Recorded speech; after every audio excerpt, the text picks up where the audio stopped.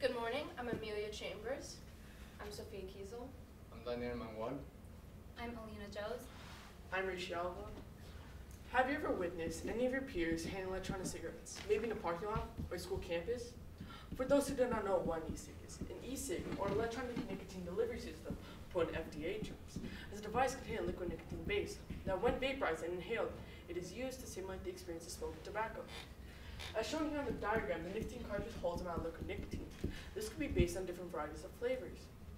E-cig companies have stated that the use of e-cigarettes is a better option because it doesn't need the combustion needed for a traditional cigarette. As the overuse of vaping is becoming a problem, especially amongst the youth, it's been a very important point of action to address the following question. To what extent can the convenient access of electronic cigarettes affect the youth under the age of 18, resulting in increased rates of vaping and, and its impact? Through detailed research, was concluded that the use of e-cigarettes, a spreading epidemic, poses a threat to the U.S. youth under the age of 18. To combat this, governmental intervention needs to be taken immediately. Statistics have shown an increase in youth use of vaping. From 2011 to 2017, there's a 10.2% increase amongst high schools and a 2.7% amongst middle schools. This has shown a drastic increase in youth use of vaping. As the amount of individuals that vape increase, there is also a correlated increase in the amount of health risks that they are prone to. For instance, in the oral health of a vaper, vapers can experience excessive coughing and even scratchy throat. Then they can also be prone to higher heart rates and blood pressure. Then in the respiratory region of their health, they can be at risk for higher inflammation and infection rates in their lungs. In addition, as observed in a study done by scientist Judy Zelikoff on the effect of e-cigarette vapors on adolescent mice, it was observed that various reproductive issues were present. This was mainly due because the exposed mice had sperm counts half the value of the unexposed mice. In addition, there were also signs of plaque buildup in arteries pointing to atherosclerosis. Though the study was done on mice, it is directly representative of the physical impacts that adolescents can experience from vaping. In addition to the physical impacts of vaping, there are also various behavioral impacts as well. This is mainly due to the high amounts of nicotine present in most e-liquids. Nicotine is an addictive, odorless and flavorless chemical which, when ingested, stimulates the adrenal glands, causing a rapid release of epinephrine or adrenaline. In association with this, there is also rapid release of glucose into the bloodstream. This then results in higher blood pressure, heart rates, and even respiration levels. The use of vapes not only impacts the users themselves, but also the environment and those around them through secondhand dealings, especially amongst teenagers whose bodies are constantly reacting to change, Any direct and indirect use of e-cigarettes will cause many detrimental effects. As a result of all these multiple medical hazards, Many governmental organizations, like the FDA, have started to institute and establish regulatory laws. Here's a simple overview of the course of actions and events across establishment on two regulations by the FDA that have helped limit exposure to vaping and nicotine. The Family Smoking and Prevention and Tobacco Control Act was signed by President Barack Obama in 2009. This gave the FDA the power to regulate the tobacco industry. This act also places restrictions places restrictions on marketing tobacco products such as e-cigarettes to minors. This act also requires a more larger visual labels on packaging, and tobacco companies also need to seek FDA approval for any new tobacco products. In 2015, the United States Senate passed the Child Nicotine Poisoning Prevention Act. This act was also signed by President Obama and was made to help children with child nicotine poisoning showing this map here, there have already been many countries that, have either restricted or banned the action of vaping. It's highlighted by this green arrow here. Here, one third world country, Venezuela, has banned vaping and threatens to punish users with fines up to $8,000. Another specific, another specific example can be observed in the country of Panama. And in 2009, Panama placed restrictions by banning the importation, distribution, and sales of electronic cigarettes. We must follow this example and have stricter regulations on electronic cigarettes in the United States for the safety and health of the youth. Because the FDA has instituted such prohibitory laws, this has caused an increase in economic loss. Individuals, such as company leaders, who are against the institution of laws regulating access to e-cigarettes propose harm to the overall governmental economy. Over the past couple years, E-cigarettes have become the most commonly used tobacco product among teenagers, increasing 78% among high schoolers and 48% among middle schoolers. This increase has made popular vape company Juul dependent on youth users that have allowed them to maintain 73% of all e-cigarette sales. Economists say the restrictions of e-cigarette access will cause a decrease in, in sales in the vape industry, considering that such restrictions include reduced flavors and significant features that have brought widespread attention by teens. This graph shows the increase in e-cigarette sales over the past couple of years. Notice that the sale increase follows the increased production and introduction to smaller, more convenient devices and youth appealing features.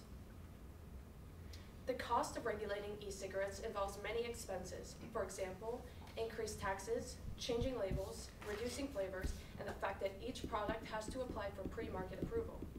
This graph describes the net economic impact of e-cigarette regulation, which concludes that customer surplus, which describes a customer's willingness to pay for a product, and the actual price of the product, will decrease, reducing the benefits of reductions of smoking in half in order to account for the lost customer surplus. Another form of regulation is excess tax. A study done in Minneapolis reveals data from two e-cigarette companies and the sales before and after the tax increase. The sales were significantly below expected values in the subsequent three periods. This form of regulation negatively impacts the number of adults who use e-cigarettes as a transfer from smoking tobacco because of the increase in prices. Despite the negative economic effects that accompany regulating the e-cigarette, doing so ensures the safety and prevention of any long-term effects. According to Obesity, Fitness, and Wellness Week, health in the transparent pod are attractive flavorants to the youth population and hold a high cardiovascular toxicity. When heated, these can decompose into harmful or potentially harmful constituents. Proven on a molecular level, nicotine has had a gateway effect to other drugs such as narcotics. When mice were primed with nicotine, there was an enhanced effect of cocaine after 24 hours of priming and 7 days of priming. These hyperactivity levels were risen due to the enhanced release of dopamine, the feel-good hormone, giving off a sensation of euphoria, leading to addictive tendencies. What adolescents and adults don't know are the long-term effects that can accompany them into adulthood, such as addiction. This graph shows the expression of the gene ARC, involved in neuroplasticity. As you can see, there's a significant difference between the nicotine triggers in adolescents versus adults. The nicotine triggers synaptic development, a key process in learning. What can be concluded is, that adolescents are more likely to learn the nicotine habit. Because the child brain is constantly developing, it's necessary to take governmental intervention. By raising the age limit and running a permit-based system, products can be regulated through thorough ID checks. Another solution is to ban from conveniently accessible retail stores, including online purchasing. Through this, the purchases would only be through directly through the company. The only implication that comes from this are the secondhand sales and the decreased revenue of the company. Lastly, to educate students through third-party organizations. Because the usage is rapidly increasing, it's necessary to follow a plan implementing all three solutions to not only educate, but regulate the e-cigarette. What questions may you have? Thank you.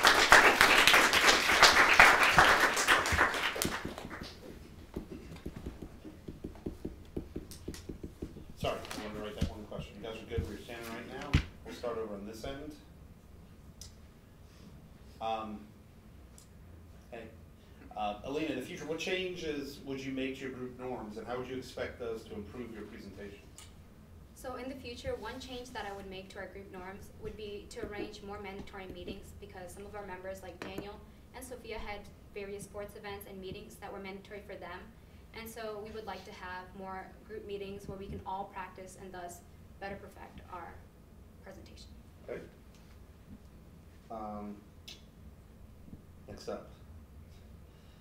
Reflecting on your colleagues' work, so what they did. Which one had the greatest impact on your understanding of the problem? Looking at Alina's lens, I, she discussed all the medical problems that are associated with e-cigarettes. And in my perspective, I discussed how it was bad for the economy. But looking how, how bad the e-cigarette is from her perspective, I understood that even with these economic impacts, it still is necessary to regulate. Okay, thank you. Um, Amelia,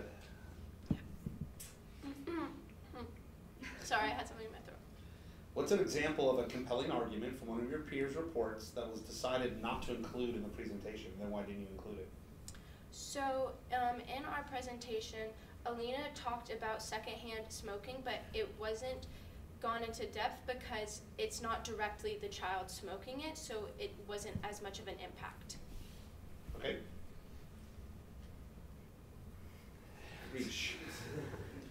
Um, what is a way in which your team's resolution makes you think differently about your own research? Um, something that Amelia stated was the the actual governmental intervention, like what we would actually do, and how that affected my research is that it shows why we should do these things because it actually does affect the youth. As mine was the social perspective of how the youth uses these products, it actually showed a very good reason of why we should be banning these type of products. And Daniel, have, now that you're done, uh, what would you be considered to be a gap in your team's research? I consider to be a gap in my team's research would be in Rishi's social perspective because uh, we wanted him to interview a student to just get firsthand information or just ask them about our topic so we can get have just an understanding overall. Alright? Dishes are done.